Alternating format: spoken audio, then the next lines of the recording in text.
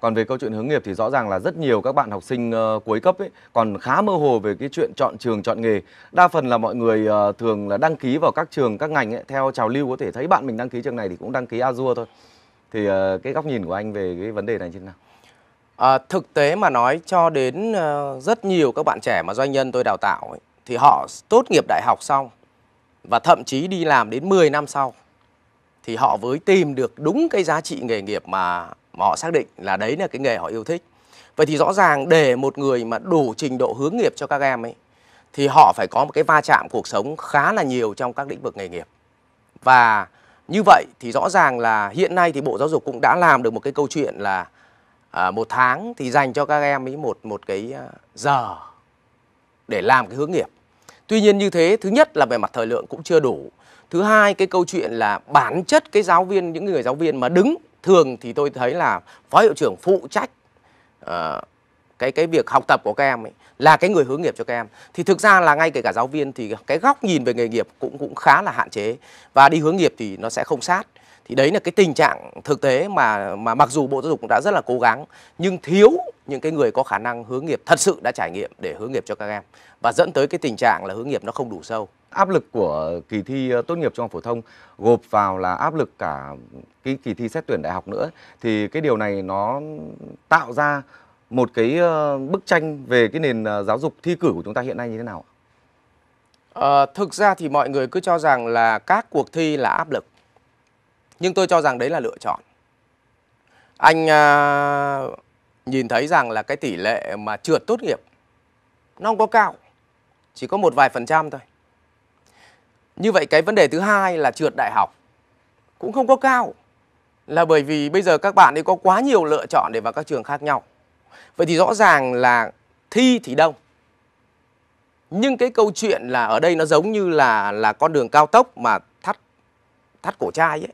Tức là khi vào thì rất dễ, nhưng mà khi ra để đáp ứng doanh nghiệp nó mới là câu chuyện khác, cho nên tôi cho rằng đấy là lựa chọn, chứ không phải là cuộc đua.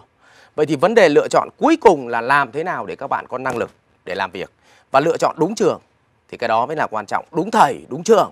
Cái đó quan trọng hơn rất là nhiều so với việc là uh, nghề nghiệp mà các bạn ấy lựa chọn. Bởi vì tôi cũng muốn chia sẻ với biên tập viên rằng là um, cái lựa chọn nghề nghiệp ấy, thì tôi cho rằng là uh, các thầy ở trường đại học chỉ cung cấp cho các bạn ý một cái mảnh vườn thôi.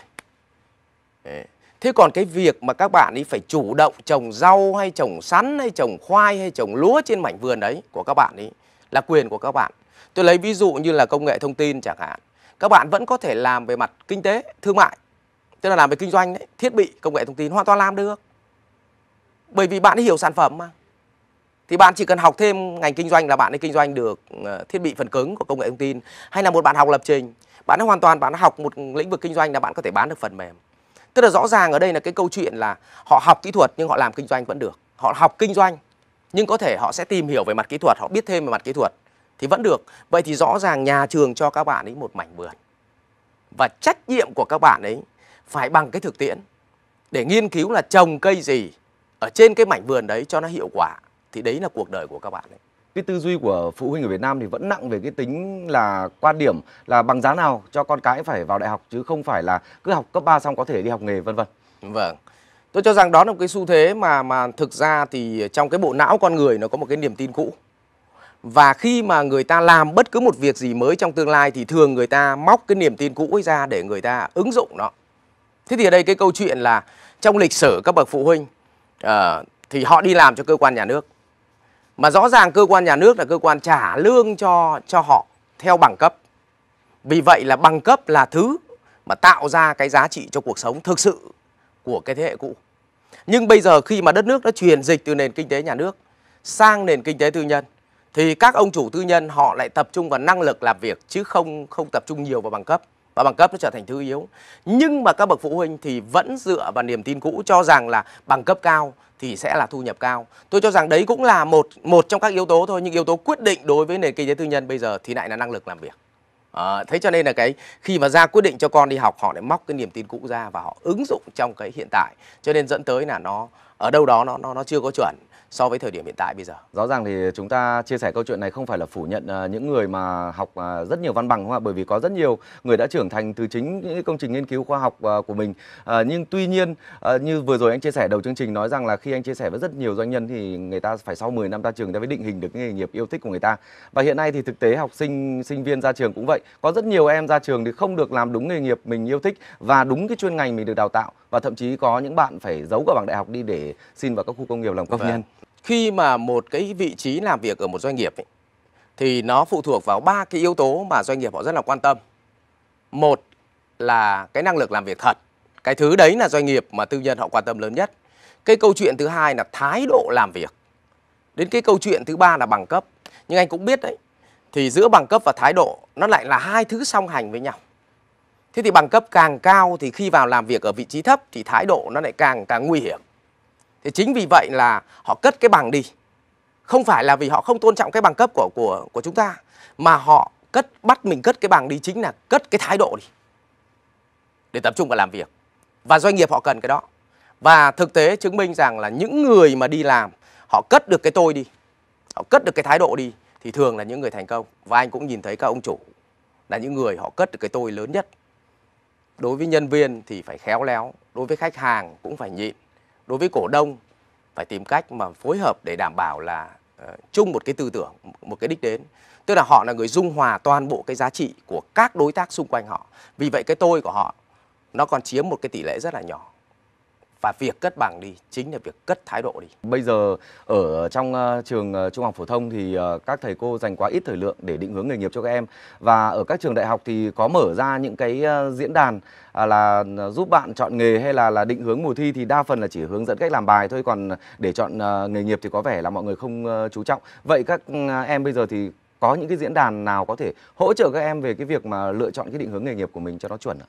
À, thực ra cái thời buổi nó bây giờ nó bùng nổ công nghệ thông tin thì vấn đề nó không phải là thiếu thông tin mà vấn đề là phải có tư duy lựa chọn cái người mà để mình nghe.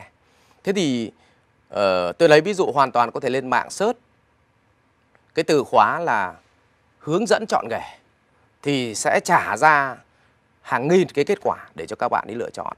Nhưng mà vấn đề là cái câu chuyện là một là thật sự cái tâm thế của cha mẹ cũng như con cái có nghiêm túc với cái việc mà mà mà ngồi dành thời gian để nghiên cứu thật sự về lựa chọn nghề nghiệp hay không. Đây là câu chuyện thứ nhất mà tôi cho rằng là thực sự chưa đủ nghiêm túc.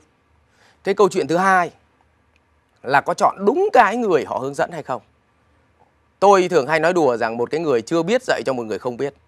Thế là thành ra là hai người ôm nhau và vô cùng phấn khởi là chúng ta đều biết nhưng mà thực ra là thực, thực ra là chúng ta đều không biết.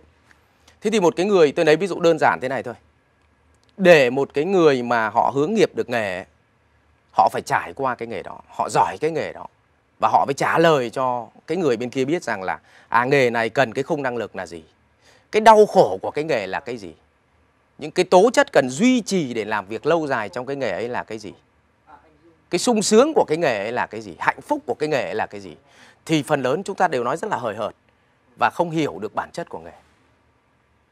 Vậy bây giờ ừ, để muốn giúp các bậc phụ huynh và đặc biệt là những em nhỏ mà trong định hướng nghề nghiệp mà hiểu được bản chất của nghề ấy, thì ờ, chúng ta có những diễn đàn hỗ trợ không hay là cũng lại phải phụ thuộc ờ, phụ thuộc vào những cái từ khóa ở trên mạng? À, tôi thì cũng cũng là một chuyên gia hướng nghiệp đối với học sinh trung học phổ thông thì tôi có lời khuyên với các bạn thế này.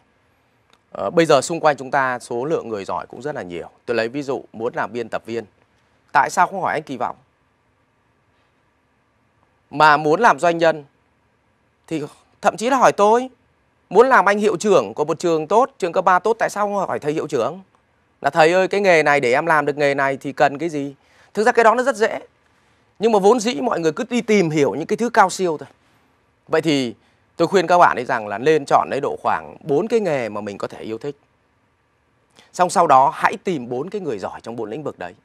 Bây giờ anh hãy nhìn xung quanh à, chúng ta. Nếu có 10 cơ hội việc làm thì 9 cơ hội là làm việc cho tư nhân mà rõ ràng tư nhân thì uh, tôi cũng là một doanh nghiệp tư nhân. Và tôi sẽ trả lời là tư nhân họ cần gì ở một người đi làm. Họ cần bốn cái yếu tố. Yếu tố đầu tiên đó là kỷ luật bản thân. Chắc chắn nếu anh là chủ một doanh nghiệp anh sẽ không thích một cái ờ, nhân viên của anh là đi muộn về sớm. Hay nghỉ việc vặt. Nay xin việc nghỉ vì lý do này mai nghỉ vì lý do kia. Anh không có thích rồi. Không thích người ta nói dối gian lận đúng không ạ? Thì cái kỷ luật bản thân đấy là thứ mà sống còn để một người đi làm. Cái câu chuyện thứ hai là cái yếu tố năng lực, cái khung năng lực để làm việc ấy. tôi không biết là ví dụ anh làm người bán hàng, tôi không biết rằng anh đã học vĩ mô cỡ nào, tôi không quan tâm. Nhưng quan tâm lớn nhất là anh có hiểu được nhu cầu của khách hàng không? Anh có nói được cái giá trị hàng hóa hay dịch vụ của mình thỏa mãn được cái gì cho khách hàng hay không? Thứ đó là cái thứ nó rất cần kề, nó cần nhất xong rồi cái công việc thứ ba nó với là cái kỹ năng hội nhập trong doanh nghiệp. Tức là vào nơi đừng có mặt sưng mày xỉa nên là mọi thứ là đừng có nghĩ tiêu cực mà mọi thứ phải nghĩ nó tích cực lên. Đấy thì yếu tố thứ ba. Và yếu tố thứ tư thì uh, tôi cho rằng là cái nền tảng của bằng cấp nó giúp cho người ta có cái tư duy hệ thống để nó phát triển bền vững hơn nó như cái móng nhà ấy. thế thì bốn cái yếu tố ấy là bốn yếu tố mà doanh nghiệp họ rất là quan tâm Trường huấn luyện doanh nhân CEO Việt Nam Global được sáng lập bởi ông Ngô Minh Tuấn, vận hành bởi triết lý giáo dục thân, tâm, tuệ. Với hai chương trình huấn luyện, Quản trị kinh doanh Business One dành cho học sinh sắp tốt nghiệp trung học phổ thông có khát vọng trở thành doanh nhân trong tương lai. Quản trị kinh doanh Business Boss dành cho học sinh sắp tốt nghiệp trung học phổ thông có định hướng kế thừa doanh nghiệp hoặc khởi nghiệp trong tương lai. Học viên có cơ hội nhận ngay học bổng lên đến 40 triệu đồng khi xuất sắc vượt qua vòng phỏng vấn đầu vào trực tiếp cùng doanh nhân. Số lượng chỉ tiêu có giới hạn. Tìm hiểu ngay về trường huấn luyện doanh nhân CEO Việt Nam Global tại website www.trường doanh nhân CEO Việt Nam.edu.vn hoặc hotline 24 trên 7 1800 577722.